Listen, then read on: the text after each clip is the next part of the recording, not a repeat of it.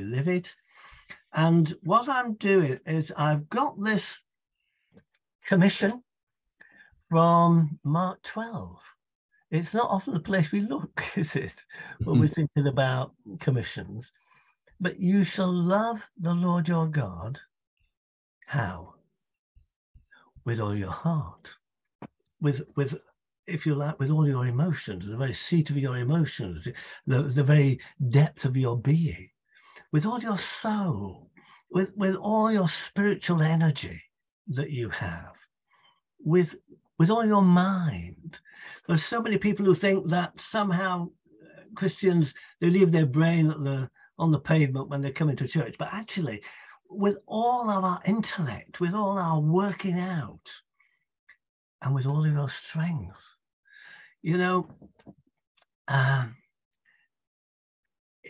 it, it's physically costly being a disciple. You've just been talking about the charities that you support and that you're involved with. And, and just think about that. Actually, when you get back from being involved, you're tired, aren't you? I sometimes go and cook for a local charity. Uh, yeah, I cook uh, for a local charity. Um, lunches for MHA communities, and uh, they, they're all surviving. They're all doing well, by the way. Um, and uh, uh, when I come back, I'm shattered, right? Uh, and there are all kinds of ways in which we volunteer and we support others. But in terms of how we are as Christians, it's all of our heart, all that we have, all of our soul, all our spiritual energy all of our intellect and our thinking. John Wesley, time and time again, was urging the people called Methodists to work out your salvation. It, it didn't mean you've got to um, you've got to work your salvation up by yourself. No, no. He knows that Jesus died for us, and therefore we can appropriate that salvation that God has, through Christ, is given to us. But that being said, we have to work it out in our lives. We do that with our intellect and with our thinking, and of course, with all our strength. And then Matthew, but sorry, Jesus goes on to say in Mark, and the second is this you shall love your neighbor as yourself.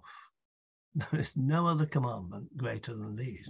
Now, we think of these as the great commandment, but actually, they're also a commission for us uh, that we should, and the way in which we should be doing our discipleship. If we're really going to be rooted in that discipleship, then we have to take all of this into uh, into account. Now, I'm going to show you uh, a video because uh, that being said, uh, it's okay on a Sunday, we're all together, but what happens at other times? Let's just go and have a look at this video. It feels like we're too few to make a difference. But the reality is, Monday to Saturday, God has us, scattered in the world, connecting to hundreds and thousands of people. So wherever you are, whoever you are, whatever you do, you can make all the difference in the world. And on Sundays, when we gather together, we strengthen and empower one another to be sent out again for life on our front lines.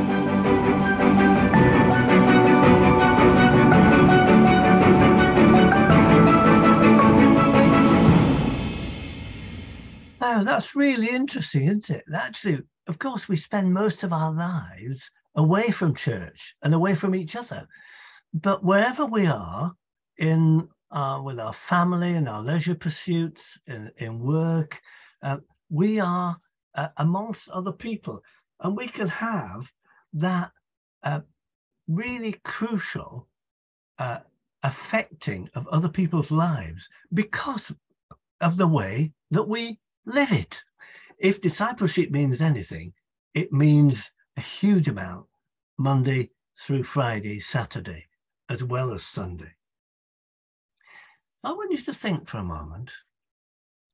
Uh, I'm not going to ask you to go in a group, uh, but I want you to think for a moment. Who are the people that you are connected to? Where do you meet them? And in what way do you influence them? Who are the people you are connected to? Where do you meet them? And what are the ways in which you influence them?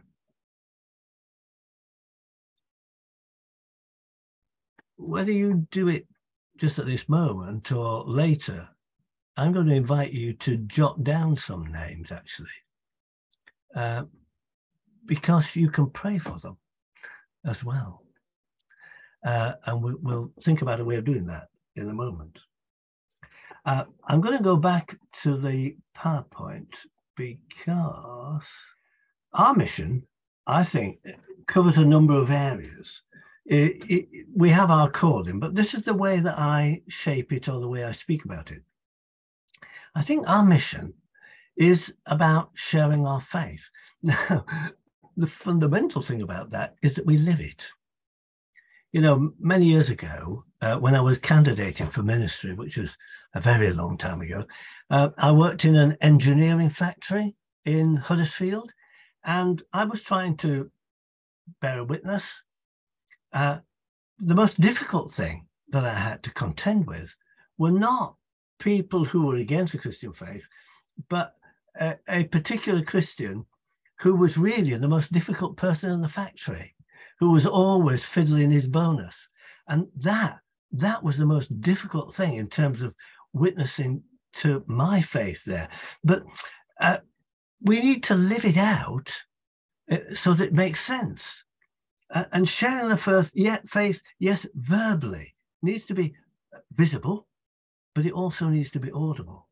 Um, and sharing the faith, I think serving the community is really important. Now, we'll think in a moment about the ways in which we do this corporately. And you've talked already about the uh, charities that you're involved in. That's really key, it seems to me, in terms of the Christian influence in our society, like a kind of leaven uh, in the whole. I believe firmly, it's really interesting. The older I get, uh, the more strongly I believe that the there is a Christian uh, impetus to speak out about injustices uh, and to struggle for justice is a key element, I think, of that Christian witness of living it. Um, it comes out in all, all kinds of ways about challenging people um, when they say things that are really uh, not right. Uh, writing to your MP, being in touch with people, standing with others uh, in this way, but also caring for creation. Um, in his introduction, Tony referred to uh, the what the Methodist Church had uh, called Sharing in God's Mission. That was a really interesting program um, in the 80s and 90s. And that included all of these. And I guess that's the rootedness for me uh, in this, like caring for creation. And of course, today we've had um, you know, a statement by the government about what they're going to do, uh, and all the Green parties saying, "Well, so what? This is not enough." And and there needs to be a Christian voice in all of this about our care for creation. When we think about, you say, well, our influence is only small.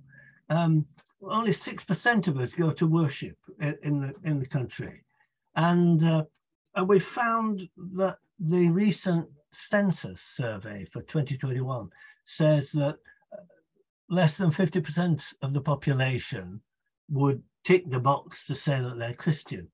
But that's not a reduction in the people who go to church, actually. That's a reduction of nominal Christianity. Um, and, and the fact that people are owning up and saying, I don't believe, frankly, I think it's a good thing. Uh, uh, it might be more awkward when we're talking about public policy, but it, it's a good thing because people have a reality about where they're at. And therefore, mission uh, and evangelism, I think, is much easier. So, what sort of influence can we have? There's only me. It's uh, it's. I'm only small. I'm insignificant. I can't really do much. Well, just watch this because there are things that each of us can do, and this highlights it. Here we go.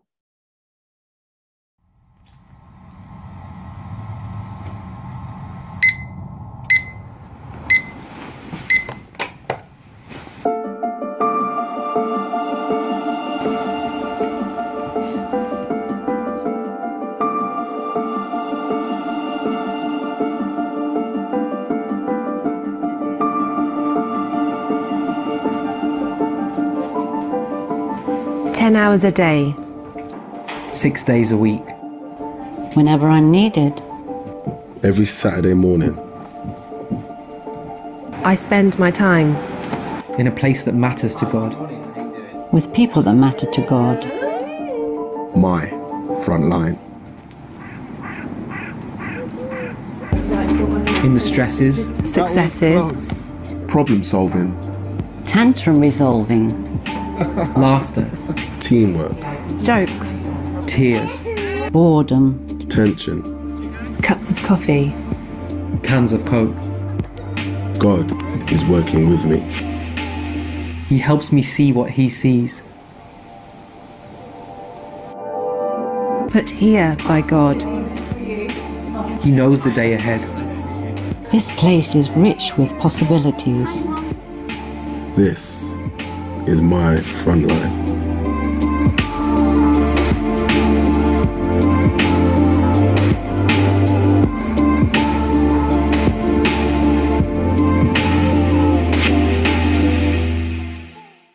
It's really quite interesting the way that that just indicates that although we're just one person, we can have a profound effect uh, on the people. I know I know a primary school teacher, and throughout her career, she's affected the life of the school, not just her class, not just her colleagues, but in some cases, the life of her school. And I, I think that that's such an interesting parable about the way that we too can influence other people. I guess it's about grace. Uh, but I want you to think too uh, in small groups now about where are where are the people that you can influence? You know, what categories are they? I don't suppose you need to share individual names, but uh, what are you involved in in the way that you can share your faith and live it out in these kind of ways? Okay, thank you, Tony. So welcome back. I hope you found that a useful discussion. You had time for it. Um, I think one of the interesting things is, is that actually we're surrounded by people. You know, our neighbours, uh, in the little row where we live. I live in a little Victorian terraced house, and uh, uh, and uh, where the people where we live, the people we work with, uh, the people in leisure pursuits, and so forth. And I have a diagram, and you might like to use this. Um, uh, uh, to try and identify the people that you really feel that God is laying on your heart for to, for you actually to share something of your faith. So I do it like this. It's very simple. The, the, the, the pin drawing is, I guess, me, right? Uh, and I put um, family and friends and work and leisure pursuits. Um, and and but but they need to be your circles and uh, write a name or two in each of these or or put their names into a prayer bowl it's a simple little bowl where you have the names of people that you want to pray for regularly. And and think about them and think about the ways in which you can share something of your faith. You know, I know uh, because Tony's just been telling me that you've got postcards inviting people to the Easter services. Yeah. Yeah. At, at the Central Hall. And uh, if if you've got one of those, don't put it on the fridge with a fridge magnet. Give it to somebody. Uh, share it with somebody and invite them. That would be great. So, if we're going to live it, uh, that means that we are part of the sent people of God. I mean, Jesus, Jesus was calling his disciples, but he was calling them to follow me. And uh, at the end of his life, time and time again, he's saying, You're going to go on, you're going to do greater things than I have done. You, I, I will be with you. Uh, I will empower you. The, the Holy Spirit, the Paraclete, the Counselor, He will come and He will be with you and uh, enable you. All of those things. So we are part of a sent people. Um, you know, churches churches kind of coalesce as though somehow God has sent us here for this time and we've got to stay here like this. No, friends, we're always in a dynamic process if we're going to be missional. Now, at the other end of, of Westminster, there's another famous church. I mean, as well as uh, the Central Hall, Westminster. Uh, and that famous church, of course, is St. Martin in the Fields. And uh, there's another famous preacher there, uh, just like the ones you've got. But and that's Sam Wells, and he writes about mission in a really interesting way, it, because there are some things we need to do for people, and there are many things that we need to do with people. And he speaks about the ways in which we can be working for people. So, you know, in terms of the homeless centre, that you support, um, there's a sense in which there are some things we have to do for people to kind of fix the problem. Uh, and there are sometimes we have to being for people. We have to advocate for people. People are, um, they feel as though they can't speak. They don't have a voice. They can't uh, articulate what it is that is really uh, important to them uh, or the injustice that is being meted out against them, or the issues that are surrounding them. And therefore, they need people who will be there being for them. But for most people, it's about working with them. So, being alongside people, understanding people, being empathetic, listening to people. Uh, in terms of fundamental mission, listening is just as important and maybe more important than speaking. Listening and understanding. And then we are able to work with people and with the issues that they're facing or the doubts that they have about the Christian faith or that the the issues they've got about church. You know, there are many people who feel badly about the church because in their childhood or at some point in their life, they feel as though they're being rejected. And, and we, we can actually come alongside people to listen and work with them. And being with them is part of that.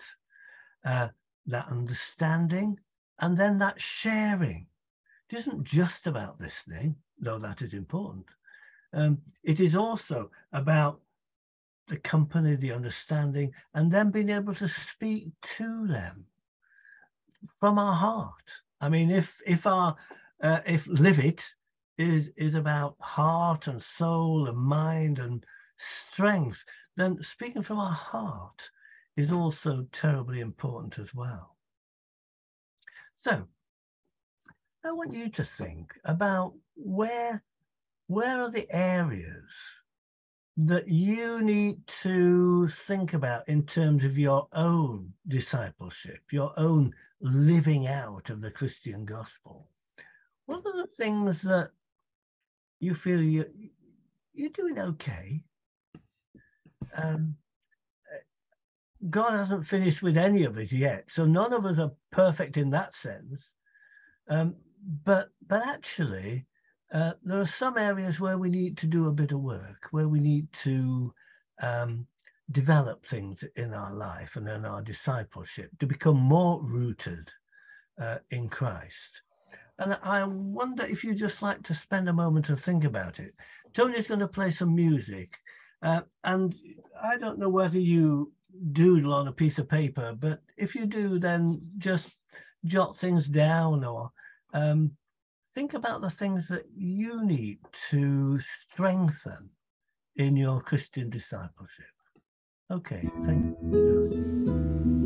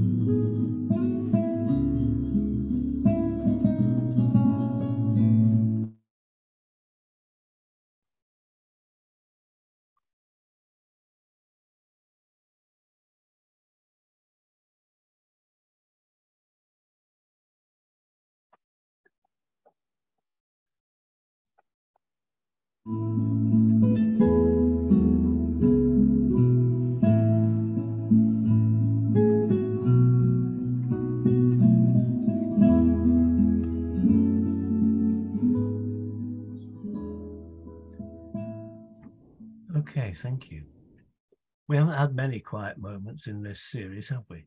But that's that's one. Uh, to to think about the things where we there's some work that we need to do. Just going back to that phrase of John Wesley, uh, working out our salvation. Actually, develop if you like, developing our discipleship becomes a different sort of phrase, meaning the same sort of thing. So, I want to speak to you about um, the fact that mission is, uh, oh dear, oh dear. Sorry, I'm, I keep on clicking on the wrong thing. Why am I doing that?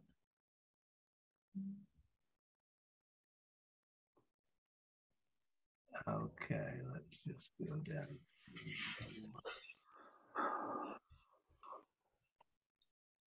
Here.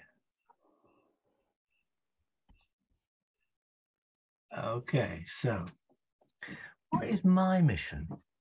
If our mission is about sharing my faith and uh, uh, serving the community and struggling for justice and caring for creation, if that is our mission as a church or as a denomination, uh, as a, a, Christian body, what is my mission? Uh, and I wonder if it's something like this. Of course, it's about sharing. so, so that means, I guess, that we've got to be a bit vulnerable. Um, and being vulnerable is is tricky, and we find it hard. Um, and uh, but being vulnerable in the presence of God and on behalf of people uh, and with people is is a place where God can really help us in this. Um, of course, caring. People people want to know that you care. Very interesting. I've done some reading about the the the massive development of the Christian church in the early generations of the church, and you know up to 100 AD and 200 AD, and actually the mission of the church uh, was accelerated by the fact that people can understand why it was that Christians cared for others. Uh, and and that is something that's really important. We we shouldn't miss it in terms of what we do and what we are as a church. And of course, responding to need, uh, responding to people's questions. Uh, sometimes responding to people's criticisms, and it's how we do that. We don't we don't need to be aggressive. We don't need to be angry. we do need sometimes to say, well, actually, it's this. Uh, uh, responding to racist comments, for instance, actually challenging that. Uh, I, I, understand it's tricky. I understand it's difficult, but it, it is possible to do that. Um, and uh, in in one environment uh, in which I um, volunteer, uh, I have from time to time just to challenge what people are saying, and it, it's not easy. Um, and do that, but nevertheless, responding to people uh, and of course, responding with grace is always really important. Giving, yeah, about money, um, but giving of time and energy, uh, giving of ourselves, giving of the things that we have, um, uh, and, and giving generously too of our finance. All of these are important aspects of that discipleship. And yes, they're to our, our church, and many of us are worshipping at the central hall, but people, other people from different places, and uh, being that sort of generous attitude wherever it is that we are worshipping and being and sustaining. I think sustaining a Christian witness is really important. It, you know, it's it's no good. Oh, today, today, I'll have a Christian witness, right? What about tomorrow and the day after? We we have to sustain that. And in that, we are sustained by God's Holy Spirit. I mean, that's one of the meanings of uh, Jesus' teaching about parakletos. It, it means being strengthened when uh, under other situations and other uh, uh, uh, circumstances, we might just fall apart uh, and find things difficult. No, sustaining um, our Christian witness because of God's grace and power in our lives. You know, uh, this is a, a work of art by a Chinese artist he grew up in a village in northern China and went to an art college in Nanjing. Uh, his name is He Qi, H E Q I, He Qi. And you can find his, um, his work online in all kinds of places. Just look at this, The Good Samaritan. Um, you'll find that he all often has people in interesting positions notice in the background, you know, the priest and down at the bottom the Levi. They're going, uh, but it was the it was the man who was estranged, the person from the edge of society. He was the one that came and uh, helped the one who was cast down. And there's something about that parable which is a challenge to us in terms of our ongoing discipleship that we we ourselves need to be the ones that care and share and respond, that give generously, that uh, support and sustain others. Because that's how God is with us, actually. That's how God is with us. And the book, the discipleship book, brings us back to the covenant prayer and the importance of that, which starts, as you know, uh, I am no longer my own, but yours. And, and that covenant prayer is, is a profound and important prayer for us. Uh, but it, it places our commitment where it belongs, not with me. I'm no longer my own, but yours, O Lord Jesus, O Lord God, O Holy Spirit. And I want to live it. You know, when Wesley wrote the when he came across a covenant prayer, he, adapted it. He, he, uh, like many things in his writings, he adapted it from someone else. Uh, and the original prayer was a thousand words long, just more than a thousand words. The one that we use now in our covenant service is just over a hundred words. And uh, and that sense that the prayer gives of I give everything to you, O Lord, all that I am is yours. Now, let me come out. I know that as a church, you support uh, a number of projects the, the Passage, the Food Bank, uh, the Night Shelter, the Pregnancy Care, the Gate. Uh, and of course, you give away 50% of your uh, Sunday income to uh, to charitable giving, uh, and that's that's remarkable. That's that's wonderful. And I know many other churches do something similar, and that's kind of modeling as a community what we need to be doing as individual disciples. Now, I know that there are one or two questions have arisen. Uh, one that we haven't dealt with, uh, refers to the creeds. A couple of weeks ago, I referred to the creeds. And one question uh, is well, why do we often use the Apostles' Creed, which is the shorter creed, rather than the Nicene Creed, which is longer?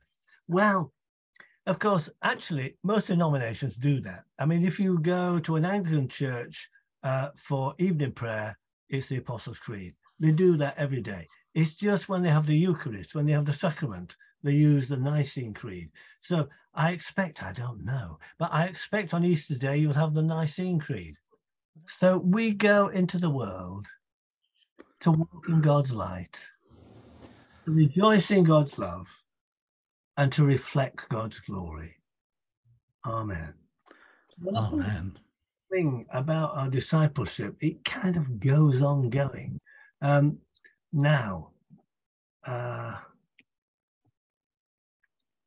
Oh, yeah. I want to thank you. I want to thank you for being part of this series and turning up. Uh, it's been a joy to see you on the, on the things. Part of the problem with Zoom, it, I don't get to chat to you over a cup of tea. to do, of course. And for taking, oh, my spelling, for taking part and sharing with others in the groups, that I appreciate that such a lot. I would like to have been in the groups myself. Um, so I pray that God will really bless you richly and surprise you with grace this Easter time.